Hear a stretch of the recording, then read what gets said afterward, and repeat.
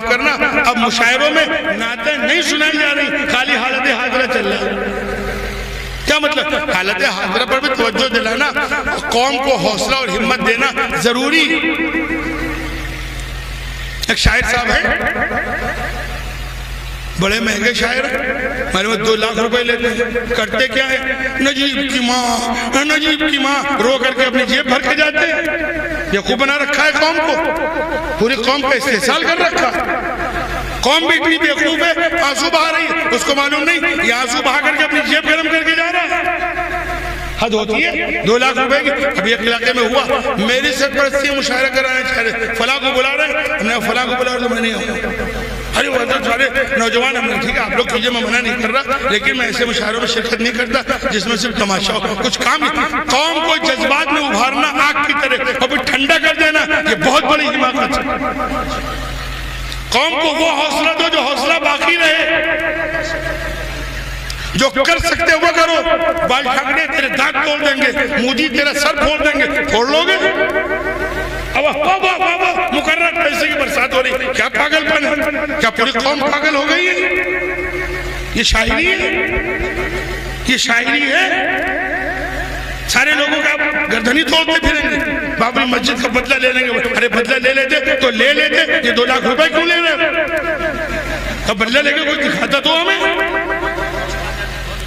तमाशा बना रखा, अजीब जौक है कहूँगा अपना जौक दुरुस्त नातिया मुशायरा है, इसलिए मैं आ गया हूँ। मैं पूछ के आया था कौन कौन शोरा आ रहा है। तकरीबन जितने शोरा आ रहे हैं, कुछ हालात बात बड़े अच्छे शोरा आ रहे हैं, लेकिन वो भी हालात हाजरा पर ज़्यादा कहने लगे। मेरी मुलाकात होगी तो मैं कहूँगा या तुम मदर साहबा बहुत अच्छी कहते थे, तुम नात बहुत अच्छी कहते थे। ये क्या, क्यों? उनको कौम की वाह वाह और दाद चाहिए।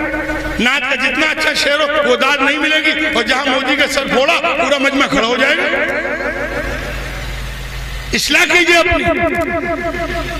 मैं एक जगह गया था सीतापुर, बीस पच्चीस हज़ार का मजमा था।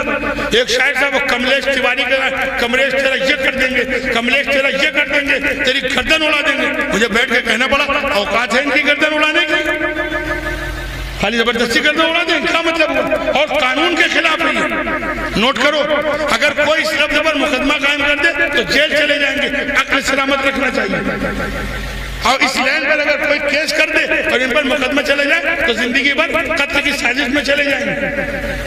कानून के जो कह फांसी पे चढ़ाओ। क्यों फांसी पे चढ़ाओ? जब तुम्हारे मुल्क में ऐसे जराइम पर फांसी कानून ही नहीं है तो फांसी का मुतालबा क्या मतलब? मुतालबे को कड़ी सजा दो, जेल में बंद कर दो रासूका लगा दो फला फला कर दो, जो कानून के दायरे में आप मांग सकते हो, फांसी मांग रहे हो। जब फांसी का कानून ही नहीं है तो इसका मुतालबा करने का क्या मतलब? या तो जिहालत का सबूत दे रहा है? मेरी बात समझ रहे बहुत हिम्मत करके मैंने बात कही है कि शोरा कौम का इस्तेसाल और अभी बड़ा इजलास कानपुर में परसों हुआ। बहुत बड़ा। पंद्रह बीस हज़ार का मजमू और मुल्क के काब क्या काबिल देवबंद के मोहतम जमीतुलमा के सदर सभा तो जिस इलाके में ये शायर सभा के दो लाख रुपए ले गए, जानबूझ के मैंने इलाके वाले कहा कि भाई, यहाँ के लिए आप कैसे दस बीस बसें चाहिए और हमको एक लाख रुपए चाहिए। तो एक बेचारे मौलाना साहब हैं, बहुत मेहनत करके पच्चीस पचास हज़ार का वादा किया, दे पाए नहीं दे पाए। मैंने कहा, वो नौजवान कहाँ है? वो मुशायरे वाले कहाँ हैं? जिन्होंने मुशायरे पर पाँच सात लाख खर्च किया, एक शायर पे दो लाख दिया तो उनसे कहो कम से कम वो तो पचास हज़ार दे दे। तो बेचारे, अरे जवाब मुझे उनसे पैसा नहीं चाहिए था। मुझे तो चोट मारना था। कि अपनी औकात देखो? मिला क्या? शायरी अच्छी चीज़ है। और हौसला देना भी अच्छी चीज़ है। कौम को हौसले की ज़रूरत है। कौम को पस नहीं, लेकिन हौसला वो दो जो हौसला बाकी रहे। खाली एकदम जिस तरह कागज़ और लकड़ी या मिट्टी के तेल डाल करके एकदम से भम भम उठा, आज उठी और बुझ गई। ऐसे हौसले से क्या काम? यही कर रहे एकदम से भम्बाया और एक मिनट में बैठ गए।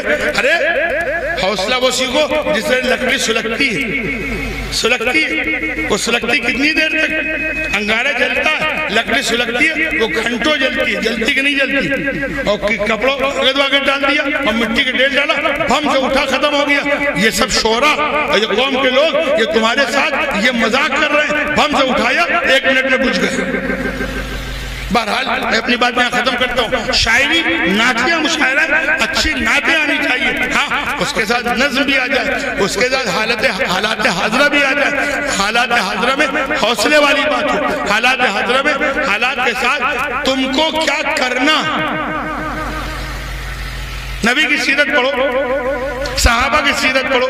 वो करना जानते थे, बोलना नहीं जानते थे। और आज हम बोलना जानते हैं, करना नहीं जानते।